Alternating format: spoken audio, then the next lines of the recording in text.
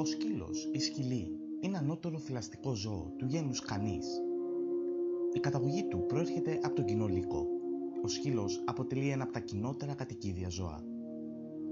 Η σχέση του με τον άνθρωπο χρονολογείται από τα πολύ παλαιά χρόνια.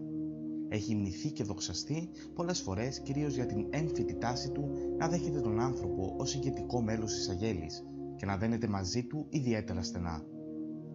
Έτσι, έχουν υπάρξει περιπτώσεις σκύλων που θυσιάστηκαν για το αφεντικό τους, στην προσπάθειά τους να το σώσουν ή να το προστατεύσουν. Υπάρχουν τουλάχιστον 360 φυλές σκύλων που έχουν τις ικανότητες από το είδος κυνηγού για το οποίο αναπαράχθηκαν. Αυτά που είναι πιο κοινωνικά είναι αυτά που ειδικεύονται στην επαναφορά και στο να βρουν το θύραμα χωρίς να το σκοτώνουν, αφήνοντας αυτή τη δουλειά στους κυνηγούς, ενώ σπανίως είναι επιθετικά και δένονται πολύ με τα αφεντικά τους. Από αυτές τις φυλές προέρχονται τα Labrador, τα Golden, τα Spaniel και άλλα. Τα σκυλιά που έχουν ειδικευθεί για κυνήγι μεγάλων θυραμάτων είναι και τα κατάλληλα για φύλακες και αυτά είναι περισσότερο επιρρεπή στην επιθετικότητα και γι' αυτό χρειάζεται να έχουν την κατάλληλη εκπαίδευση για να είναι ασφαλή για μια οικογένεια. Τα τεριέ είναι και από τις δύο μεριές, φτιαγμένα για μικρά θυράματα αλλά σχεδιασμένα να τα σκοτώνουν αν και φιλικά με τους ανθρώπους, μπορούν ενίοτε να γίνουν επικίνδυνα λόγω του ατρόμητου χαρακτήρα τους και απαιτούν ιδιαίτερα προσεκτική αντιμετώπιση. Τα τσομπανόσκυλα, πειμενικοί, που έχουν το πιο μεγάλο πεδίο ειδίκευσης και μπορούν με την κατάλληλη εκπαίδευση να γίνουν οτιδήποτε, από φύλακες μέχρι σκυλιά έρευνας και διάσωσης, αστυνομικής έρευνας ή οδηγή τυφλών. Ο σκύλος είναι σαρκοφάγος ζώο και δεν ενδεικνύεται να τρώει όλες τις τροφές σκόπιμο είναι να προτιμώνται φαγητά πλούσια σε πρωτεΐνες, σε υδατάνθρακες. Προτιμότερο με σωστή προετοιμασία, επειδή στο σάλιο του σκύλου δεν περιέχεται αμυλάση, το ένζυμο που χρειάζεται για τη διάσπαση του αμύλου, όπως το ρύζι και η χνοστοιχεία. Επειδή ο οργανισμός του σκύλου δεν μπορεί να μεταβολήσει την θεοβρομίνη, πρέπει να αποφεύγεται αυστηρά στο να ταϊστεί ή να φάει κατά λάθος ο σκύλος σοκολάτα ή προϊόντα που περιέχουν κακάο, καθώς αυτό προκαλεί σύνδρομο με έντονα συμπτώματα, δηλητηρίαση σοκολάτας και μπορεί να οδηγήσει σε θάνατο. Τα κόκαλα των πουλερικών, κότας γαλοπούλας, του κατσικιού και του αρνιού και του κουνελιού, επειδή θρηματίζονται και γίνονται πολύ αιχμηρά με το μάσημα, είναι πιθανόν να προκαλέσουν σχισμές και εκδορές στα έντερα του ζώου. Όταν τρώνε κόκαλα μεγάλων ζώων, υπάρχει μικρός κίνδυνος τα τρίματα που δημιουργούνται να ενωθούν στο έντερο και να το φράξουν. Ορισμένες τροφέ, αν καταναλωθούν σε μεγάλες ποσότητες από το σκύλο, μπορεί να αποδειχθούν τοξικές για αυτόν. Το αβοκάντο έχει τοξικές ιδιότητες για το σκύλο, προκαλώντας του αναπνευστικά προβλήματα, αφήσει και συγκεντρώσει υγρών στο στήθος, στην καρδιά ή στο ύπαρ και παγκρεατίτιδα.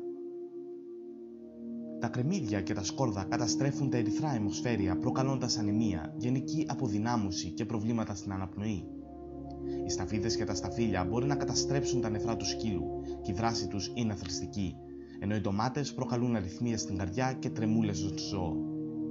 Πρόκειται για μια υπόθεση που δεν είναι ακόμα αποδεχτή από όλους τους επιστήμονες, κυρίως στην Ευρώπη, ενώ οι έρευνες είναι ακόμα σε εξέλιξη. Ο σκύλος είναι πολύ έξυπνο ζώο και μπορεί να αντιλαμβάνεται πολλά από τα πράγματα που συμβαίνουν γύρω του. Μάλιστα, ο σκύλος μπορεί να μάθει την σημασία 60 έως και 100 λέξεων, Παράδειγμα, όταν του λέμε έλα, ο σκύλος καταλαβαίνει και έρχεται σε εμάς.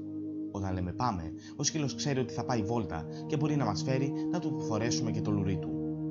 Αντίστοιχα, όταν του λέμε φαγητό, ξέρει ότι ήρθε η ώρα για να φάει.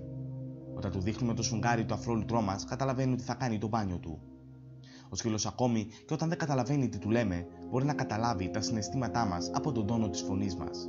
Επίσης, οι σκύλοι διακρίνουν πολλά μοτίβα της καθημερινή μας ζωής, όπως την ώρα του ύπνου, του φαγητού κτλ. Ο σκύλος διαθέτει και τις πέντε αισθήσεις. Όραση, όσφρηση, ακοή, γεύση αφή, όπως και ο άνθρωπος, αλλά με κάποιες ιδιαιτερότητες. Η όραση στο σκύλο δεν θεωρείται η πιο ανεπτυγμένη αίσθηση, αφού βλέπει μόνο ένα μέρος των χρωμάτων του ηλιακού φάσματος, αποχρώσεις του μπλε και του κίτρινου. Μπορεί όμως να βλέπει οξύτερα σε πολύ χαμηλότερο φωτισμό, αλλά και να αντιληφθεί την κινητικότητα από ό,τι στου ανθρώπους λόγω της κατασκευής του αμφιβληστροειδή των ματιών που διαθέτει. Η όσφρηση στο σκύλο είναι μία από τις πιο ανεπτυγμένες αισθήσεις, καθώς μπορεί να είναι έως 100.000 φορές πιο ισχυρή από του ανθρώπου, έχοντας παράλληλα μεγάλη απομνημονευτική ικανότητα των οσμών. Μετά από κατάλληλη εκπαίδευση, χρησιμοποιείται από τον άνθρωπο ως εχνηλάτης, Ο σκύλος για την έβρεση θυραμάτων, ναρκωτικών, εκρητικών υλικών κτλ. ακόμα και για την ανέβρεση καρκινικών όγκων.